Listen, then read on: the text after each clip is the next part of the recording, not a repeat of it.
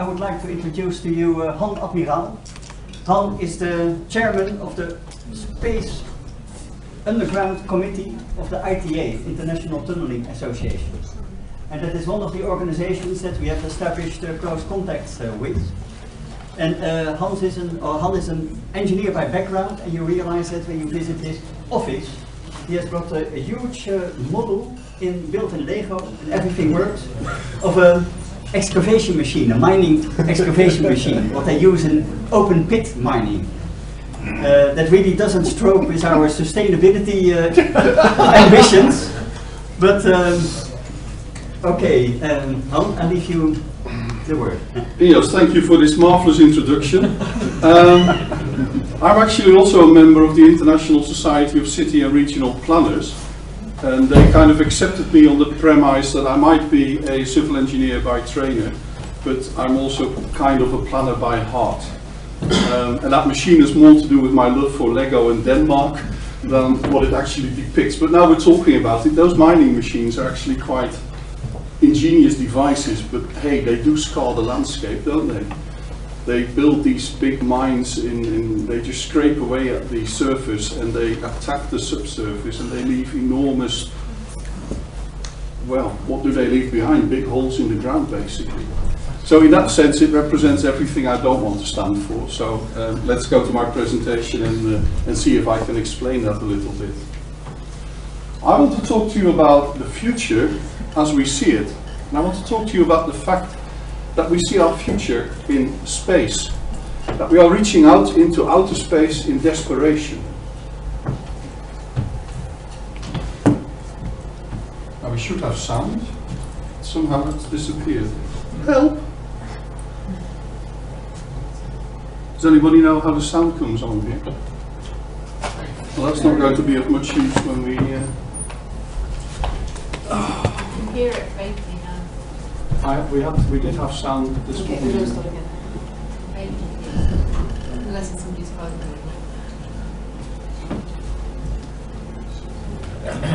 Put the microphone to ask what?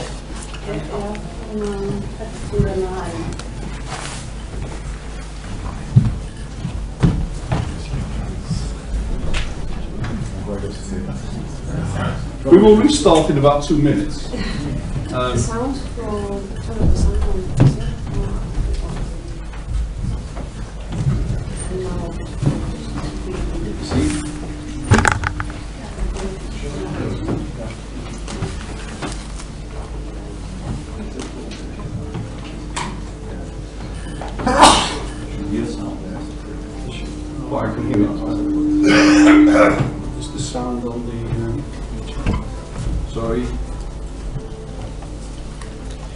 Is on the PowerPoint or something like this.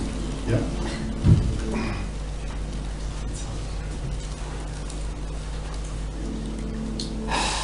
Okay, you can hear it,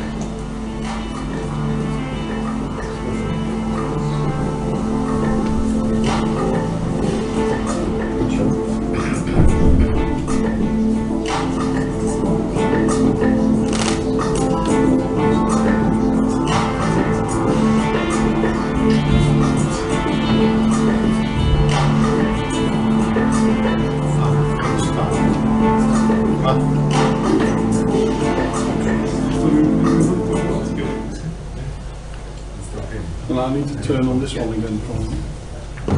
For, uh, Okay, we'll get there. Um, It's too loud. right, okay, three, I need to turn that on when the next video comes on. Okay.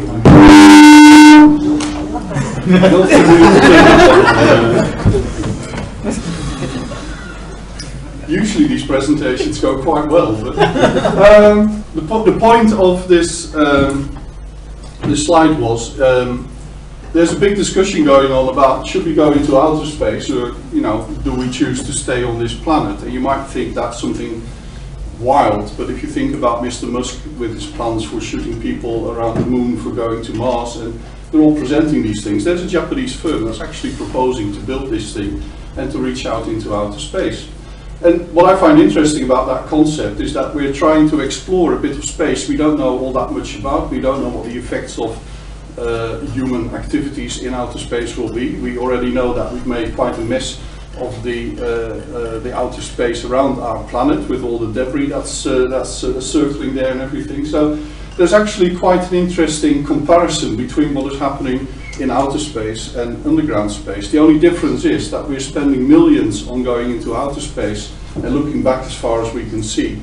And when it comes to underground space, we have a bit of a problem in trying to imagine what is there and taking decisions based on that. But let's say we choose to stay. Then we need to talk about what cities do we actually want to live in? What cities do we need on our planet? And we often say that these cities need to be resilient, that they need to develop sustainably, that they need to be inclusive, that they need to be livable. That is what we want our cities to be.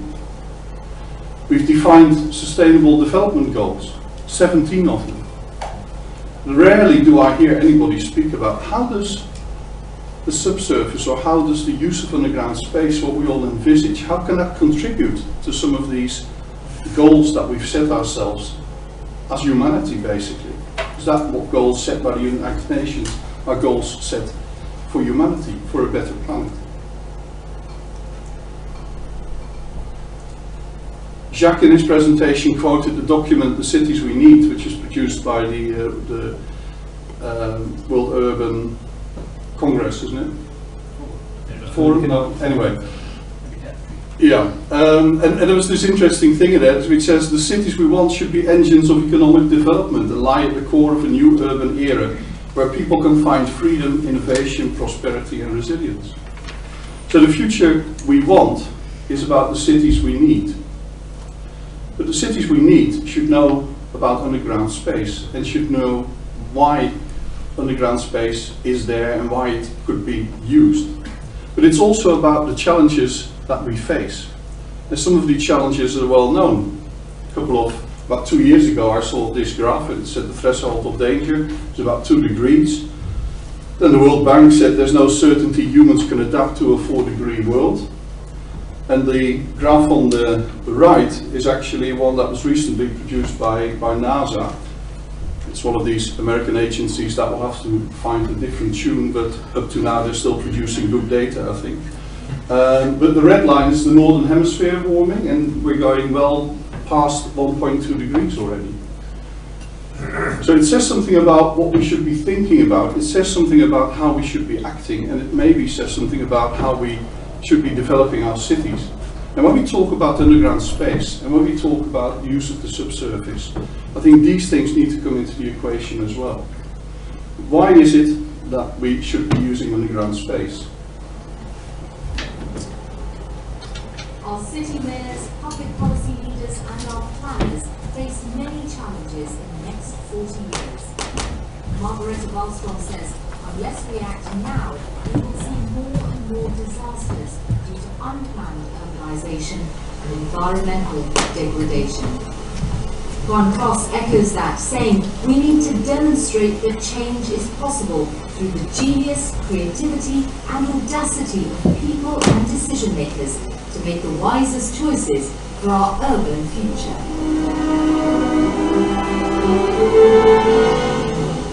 Imagine a city with a historic centre. A city with planning legislation prohibiting the demolition of heritage buildings. A city with height regulations limiting new buildings to eight floors. Imagine that historic city centre needing new social and transport infrastructure, living and office space, leisure facilities. Where would you find the space to fit all this in?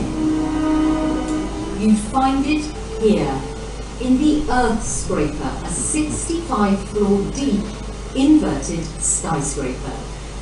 This is all the space you need with no compromise on the existing urban fabric. The Earth Scraper is an inverted pyramid with a central void allowing all underground habitable space to enjoy natural light and ventilation.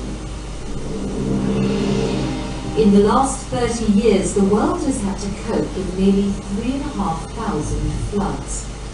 Intense rainfall is now a major hazard for cities. So imagine a city with a thriving central business district, but one that is flooded on average once a year, severely disrupting commercial life. How can you prevent this?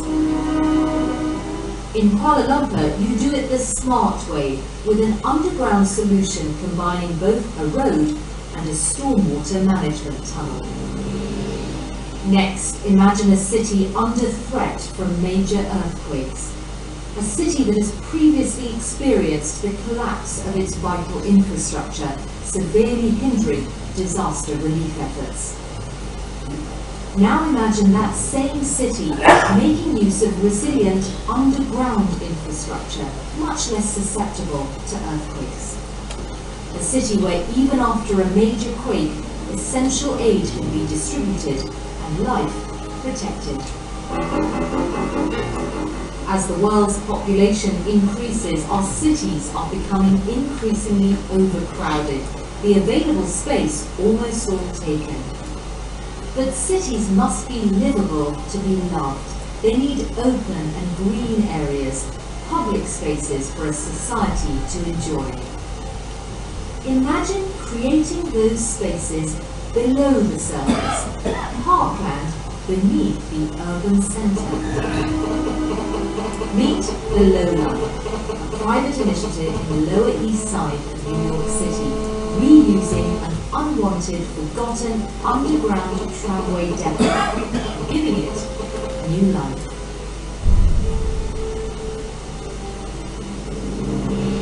Now imagine your city using its underground space, becoming more resilient against natural disaster and the effects of climate change, developing sustainably through the use of geothermal energy, integrating surface and below surface development, creating new connections and increasing livability, rapidly transporting people through underground systems that double up as cargo and disaster relief infrastructure. We know about underground space. Now you know too.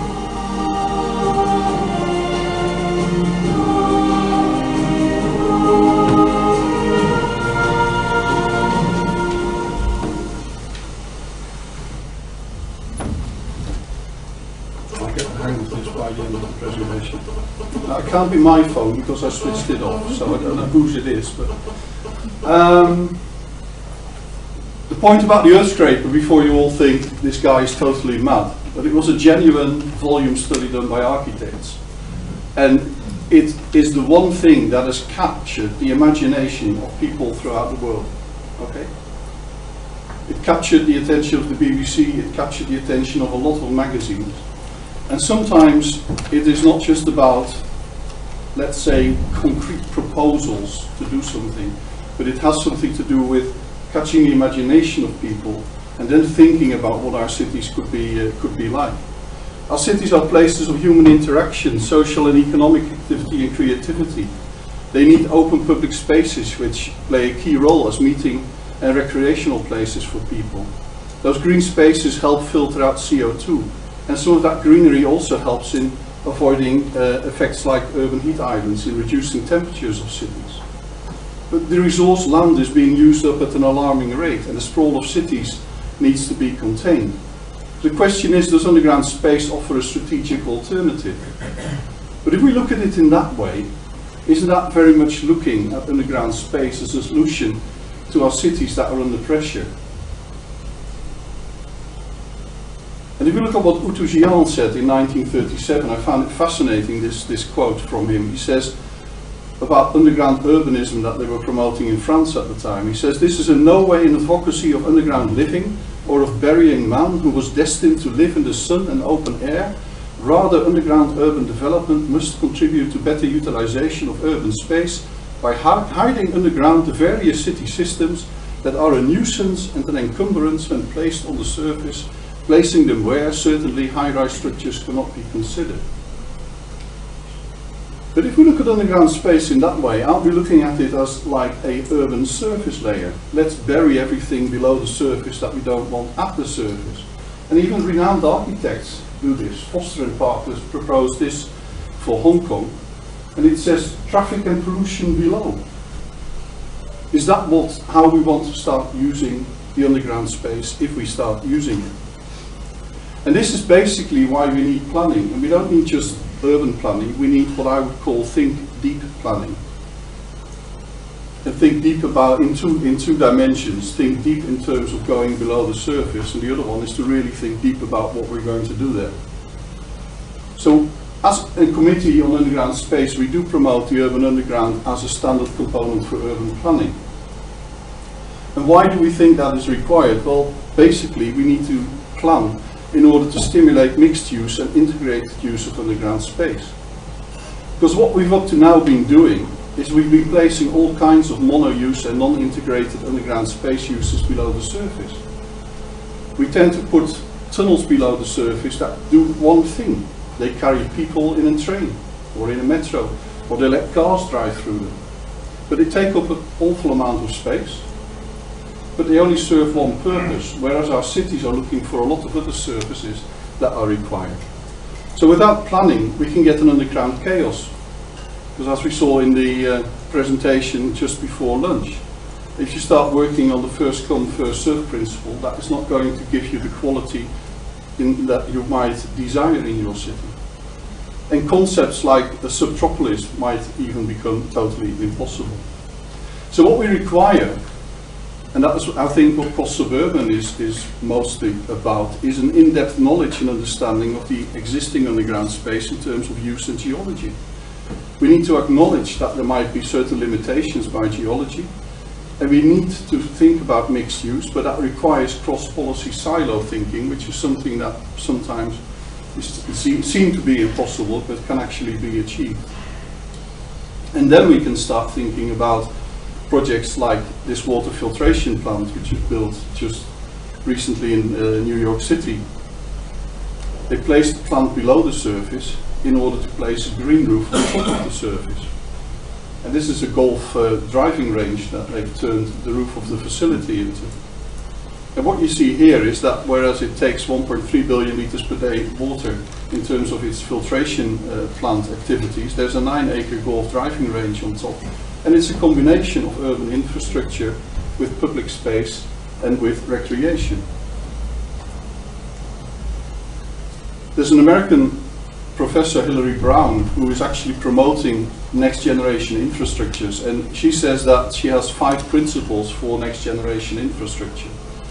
And those five are mixed land use, mitigating CO2 production, incorporating green infrastructure, integrating social and or economic benefits for the surrounding communities, and including climate adaptation measures. And what she says is that basically we should stop with producing or, or uh, constructing new infrastructure without considering these five principles. Because if we do combine these things, like you just saw in the previous example, then we can achieve so much more. This is the taking those five principles to the, uh, to the extreme. This is the Transbay Transit Center in San Francisco, which is currently uh, being constructed. And here you see a transportation hub, but it's more than just a transportation hub. It's a total redevelopment of part of the city. It provides a green roof, as you see. It's, there's an urban park right up there. But that urban park serves more uh, um, more uses than just um, providing people with, with some nice recreation. It captures water as well. So the total water usage of that facility is, is being reduced because they have grey water tanks that capture the, the rainwater. And here you can see some of the sustainable principles that are included into the, into the whole structure. You can see that they use geothermal applications as well for, for the energy. As, you, as I said, the green roof is here. They have a kind of ventilation shaft here which uh, can help in, in, in cooling and letting out the heat from the, from the underground uh, metro uh, system. So there's a lot of things that they've been incorporating into this whole facility.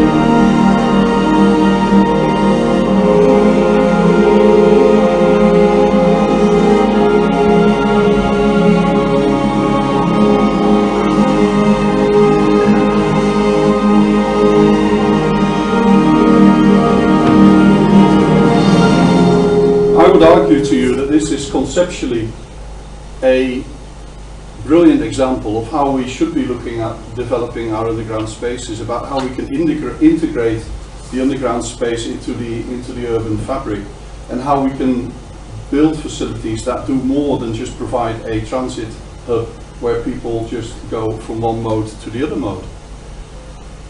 So when it comes to the urban underground future, I think there are a couple of enablers for change, I would, I would call them, that we need to look at. We need to think about connectivity, we need to think about urban system integration, creating linkages and urban reuse of spaces, and I'll go quickly through those as an example.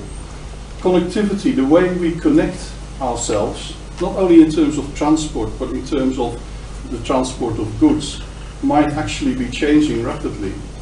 We also require connectivity for all the other things that we're doing. We see in terms of the energy and the, uh, the chemical transition, things like industrial uh, symbiosis is, is one thing requiring a lot of extra uh, pipes to connect up indus- industries to make the, uh, the whole operation more carbon uh, neutral. This is an example of uh, Cargo sous terrain pro- project in Switzerland. That is not feasibil- feasibility study, it's gone past the feasibility study, it's entering the design phase. They're going to build the first part of a total network, here the orange part is about 67 kilometers. That's going to be built. And the interesting thing about this enterprise is that there's not a Swiss franc of government money going into the project. It's totally privately financed. The role of the government here is much more of an enabler of maybe changing some legislation here and there to allow uh, this, uh, this project to, to go through. So we can see that the whole thinking about uh, the, the use of underground space in terms of transport, these are all uh, self-driven vehicles. So there are no, uh, there's no people involved in them, they will deliver the goods somewhere in the city totally automatically, taking on this whole concept of, uh, of driverless vehicles. When it comes to urban system integration, I think there are interesting examples. I've taken one from, uh, from the city of Rotterdam, obviously. I need to get one of them in to please Ignace. Um, this is the Museum Park uh, car park, and, and what it does is it actually provides an underground car park to the city in an area where that is needed. But it's been combined with a underground water storage basin. So when we have freak rainfall events in the city of Rotterdam, and the canals are about to overflow, we can let them stream off into this basin. There's a huge capacity to store the water. And the water is stored then until the rain has passed, and then we can pump out the water again. And it's a brilliant system. And what makes it interesting is that these two concepts of water management and car parking have been incorporated in one project. If you're going to build something, then you know you might go a little bit deeper and combine these projects. So that's what we call uh, urban system integration. Urban corridors we've already talked about, I think, when, uh, when, when Jacques showed the example of Montreal. This is path in, uh, in Toronto. The point I want to make with this, um, this map of the underground system in, in Toronto is that we so often look at the development of the underground space in terms of networks and in terms of basements, and we forget to link them up. And we forget to link them up because public space doesn't exist below the surface unless you actually build it or construct it. And this is also a reason why when we're planning the use of underground space, we need to think about how we can actually connect up at the minus one level these um, initiatives that have been taken.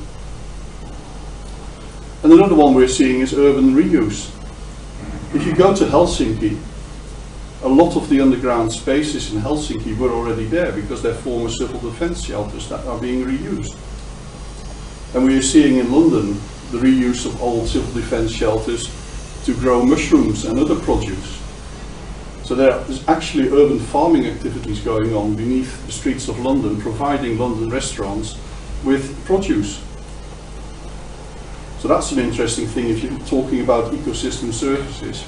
Is, is this an ecosystem service or is this use of underground space? I don't know.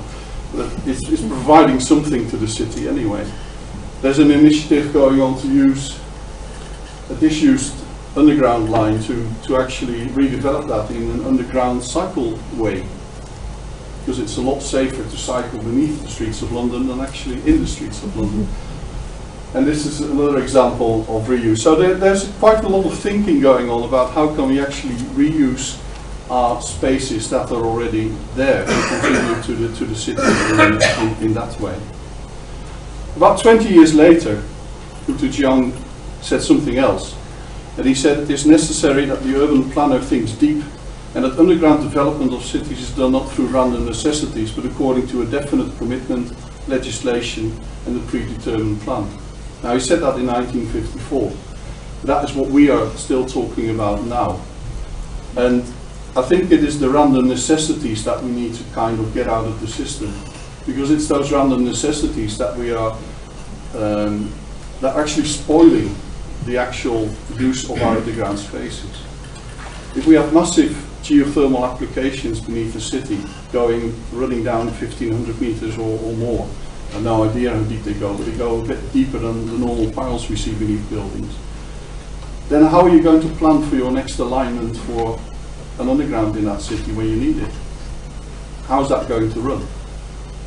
And it's not that I'm saying that you shouldn't be doing these geothermal applications, but what we're saying is that we should have a vision on how the urban spaces beneath the city can be used and should be used for the benefit of that city. And from that vision then comes the way we, we can actually use them and how we can start combining maybe systems.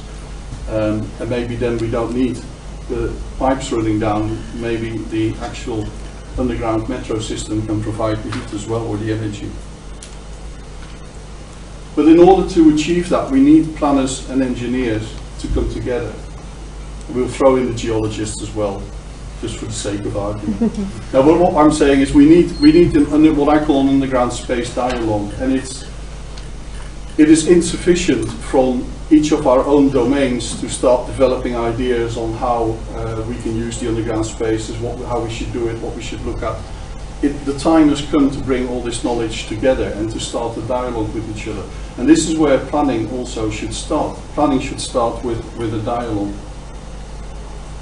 We are trying to, to do this with, uh, with the uh, ITA Committee on Underground Space. We have, as of now, two activity groups. One is called the Young Professionals D program. We recently did a workshop in uh, the city of Glasgow. The report is, uh, is available online. And what we tried to do was to do exactly what I mentioned, have a dialogue between engineers and architects and planners um, and, and, urban designers about a real life case. And we're doing this together with ISOCARP, because we would like to publish a book in about two years' time with five cases of these workshops and the methodologies that we can derive from those workshops. And it's very much getting the young professionals involved in these kind of workshops as well to not only appreciate that they can actually talk to each other and understand each other, but they can also come up with a lot better creative ideas the moment they, they do this. What we also have is our National Actions Programme. ITACUS is very much about connecting at the international level with societies like ISOCARP and trying to get them to appreciate the underground space as an asset as well, which, uh, which they, they need to look at in their, their planning practice. If we can replicate that at the national level, then I think a lot of uh, things can happen. I'm happy to say that in the UK this, this challenge has been uh, taken up by Think Deep UK. Loretta will be talking about uh, Think Deep UK on Thursday, I think. Um, and essentially Think Deep UK is, is a group of very enthusiastic professionals from various disciplines. This is my last slide, uh, Ines. Um, who, who come together and they, they share one common interest, which is the subsurface. But they all talk from their own uh, uh, professional domains and they try to come up with new ideas and, uh, on, on uh, subsurface planning. And this is the last slide, an invitation if you want to join us. You can become an institutional member of ITACUS. It's rewarding and free, as we always say. You can join our LinkedIn group, which is free as well. Um, and there are two congresses that I would like to point out. The WTC 2017 in Norway, in Bergen, which is coming up in June, and late this year in uh, October, the ISOCARP conference on smart cities. And if any of you think uh, you want to know more about underground space or contribute in some way to these conferences, uh, please visit the websites uh, to, uh, to get more information. And that's all I wanted to tell you. Thank you very much.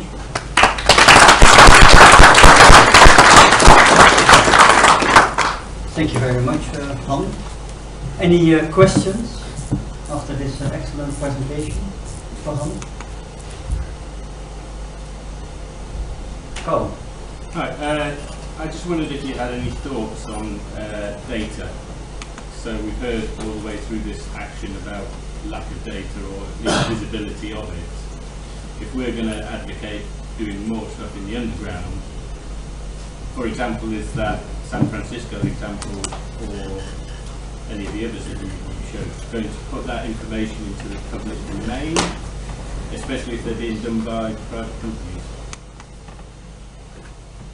I, th- I think the um, the whole the whole concept of the uh, as, as you say the data that's gathered by these projects and putting them into into databases to gather more knowledge, uh, like it's being done in Glasgow, for example, is is has not really been taken up by uh, by a lot of uh, uh, cities around the world, uh, let alone uh, nations.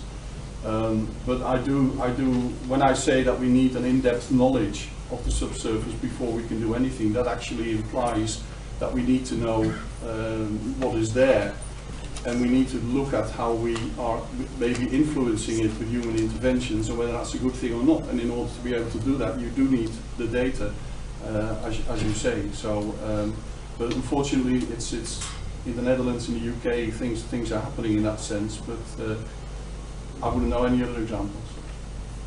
Okay, Gillian? I was just going to effectively answer Carl's question because the workshop that was done in Glasgow used the Arts Network data, Yeah. it used data from BGS, it used our development plan data, um, and it was quite a nice slide you had there because the older guy in it was actually a geologist. Yeah. That's Donald from our geotech was busy talking to the young professionals. We kind of they asked questions and then we brought the data holders in to actually answer the questions um, rather than leaving them with questions hanging in the air. So it it managed to challenge people to think in a different way, although some people did go, "Oh, we thought about that five years ago and didn't do it, but it brought ideas back up to the surface to the point. Okay. Any more? One last question. We are running a bit behind schedule, so I would like to speed up. If you want a model number for the Lego model, I can give you that.